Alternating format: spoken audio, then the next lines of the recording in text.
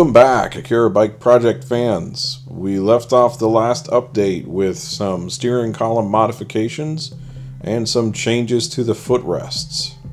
And next up, we are going to remove that CX500 engine, get it cleaned, and start the engine rebuild. The bolt-on rear assembly here is to make engine removal easier and more convenient.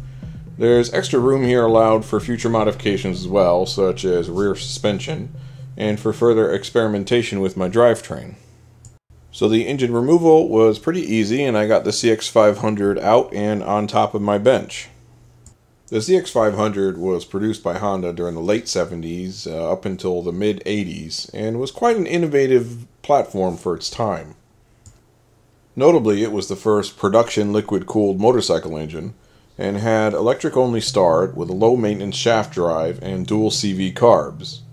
It was reliable, compact, and powerful platform in a unique transverse V-twin arrangement, and is quite popular now in cafe racer builds. But this is a 40 year old engine now, so I'm often asked why I chose to use the CX500. The transverse V-twin layout, which is rather uncommon in the motorcycling world, makes for a longitudinally compact design. And since the engine is sitting behind me, the shorter it is, the shorter the already long wheelbase is. I also love the look of the transverse V-twin platform with the engine heads popping out of the side right behind the rider's back. And imagining the exhaust sweeping forward and down and then back up is quite intriguing. I like the look of the platform, and I really like the Moto Guzzi V-twins for the same reason. The CX is a nice platform that also comes in 500, 500 Turbo, 650, and 650 Turbo variants all in the same platform with the same mounting points. Since this is a prototype and I'm testing out a lot of new things here, I want to be able to start with a more reasonable engine, but one that was easily upgraded to more powerful options without requiring any significant rebuilding of the bike. The CX500 comes in at about 45 horsepower, but put a 650 turbo in there and you can hit 90 to 100 horsepower depending on your tuning. Although these are getting a little bit hard to find now, but at the very least I'll be upgrading to a regular 650 for additional testing. I was spending almost 2000 a month for the shop and utilities, leaving very little left over for actually working on the bike. It was also almost a 45 minute drive to the shop despite being about 10 miles away, thanks to Seattle area traffic. So my wife and I started looking for a house with a shop. In the aggressive Seattle area market, this wouldn't turn out to be easy. After over a year of all this, we finally found and got the perfect place. With a 2,000 square foot shop, fully insulated, well lit, easy access, tons of electrical power, and not far away, I was ecstatic. Oh, yeah, the house was pretty nice too. With that, it was time to pack up everything and move again, but this time would be the last we moved under the eerie orange skies of the Pacific Northwest smoke haze. We moved everything in the shop, truckload by truckload, and dozens of trips later, most of it was out. Everything was unloaded and packed into the corner to make plenty of room for the forklifts to come in and unload the big knee mill and lathe. I built some heavy duty pallets for the jet lathe and knee mill and hired a rigging company again to come out and move them. It's quite an endeavor moving these things, and it isn't cheap. The forklift itself is loaded onto the truck as well to help unload at the destination. I got the knee mill and lathe into their final positions. With that, I got to work on setting up the shop again. My father came out to see the new place and wire up my shop again. I settled on a shop layout that would split the shop in half into a metalworking area and a separate woodworking area both surrounded by workbenches and tools. I got started on expanding the workbench setup, which had been languishing for some time. All the waist high benches were extended to full height benches with shelving on the top for storage, and many more 2 foot by 4 foot benches were built. Over on the woodworking side, I built another 8 foot bench and extended the existing 8 foot bench up to full height, adding pegboard on one and flat whiteboard on the other. I started plumbing the whole shop up with air lines with a drop about every 8 feet. I connected the benches to the walls and then connected the benches to each other at the top, filling in any gaps between benches with 2x4s. I put OSB and scrap plywood across the top of all the benches, connecting them all together, and adding plenty of storage space up top. Each bench got its own 4 foot fluorescent or LED light fixture in it, and each got its own pair of power strips. I added some white trim across the top connecting all the benches together to give things a little cleaner, more consistent look.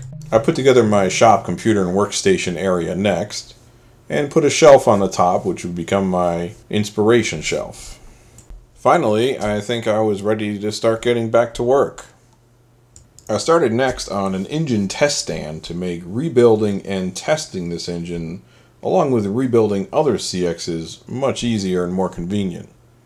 The engine test stand starts out as a simple steel square with vertical posts to the engine mounting bolts, all of it sitting on top of a heavyweight rated Lazy Susan from McMaster-Carr.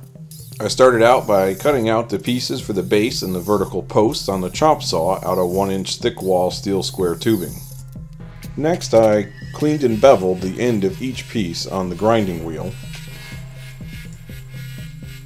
And then I cut four pieces of tubing on the benchtop lathe with the lathe cutoff tool to weld to the ends of the vertical posts and hold the engine mounting bolts inside rubber grommets.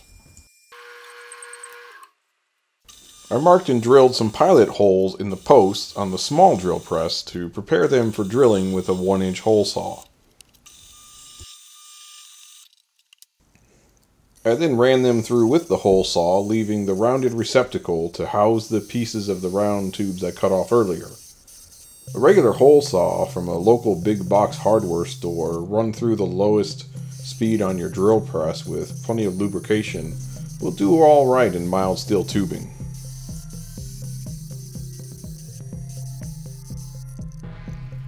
and I cleaned the edges of those newly cut pieces on the grinding wheel to prepare them for welding to the round tubes I cut. They looked pretty good, so I jigged them up in a vise, turned on the welder, and tack welded the edges. I put all the pieces in place with the engine supported on some wooden blocks to check the alignment and get ready for welding. I went ahead and tack welded the posts with the MIG welder, rotating sides and corners to minimize distortion.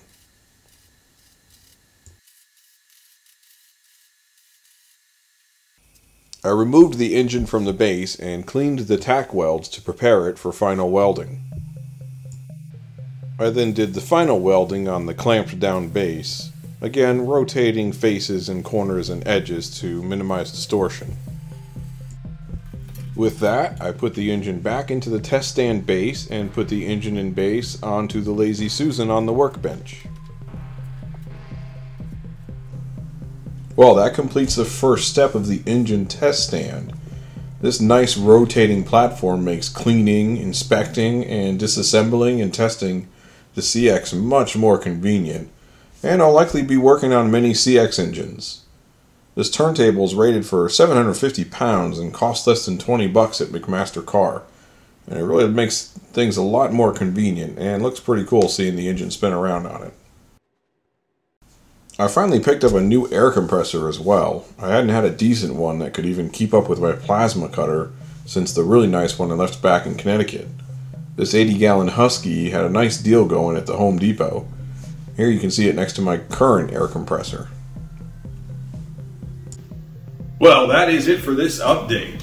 In upcoming updates, we'll also get into disassembling and rebuilding that CX500, finishing that engine test stand, doing some major frame updates, and building a full-size recumbent motorcycle rotisserie frame jig. I'd like to thank my patrons again, and if you like this project, please consider becoming a patron. I make pennies off of YouTube monetization, so your contributions will help tremendously and will help accelerate the project for just for the price of a cup of coffee per month. Remember here, this isn't a one-off show build. It's not a superficial chop a scooter in half and paint some cardboard red build. This is a build that aims to exploit the full potential of the recumbent motorcycle platform, to lay the groundwork for manufacturing a unique new vehicle platform and to do true justice to Otomo's vision in the real world.